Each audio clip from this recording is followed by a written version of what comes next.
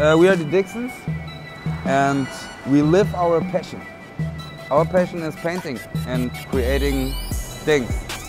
Graffiti, street art, breakdance, it's us. Around the world for new stuff, for new artists, for new content. Only this every day. This is not work for us. We are living this. And I think if you do things authentic and you do it real and you do it straight, that we can do what we love, this is success. That we can be free and creative, that's success. It's not about money. Yeah, all the all the years we we fight for this respect.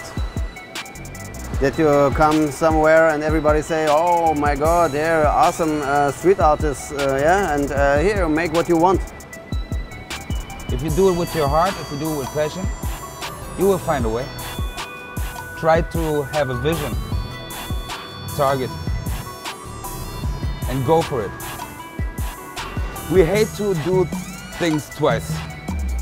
So Yeah. we always need inspiration and we always looking for new ideas and we always want to develop further with what we do because we want to stay the best.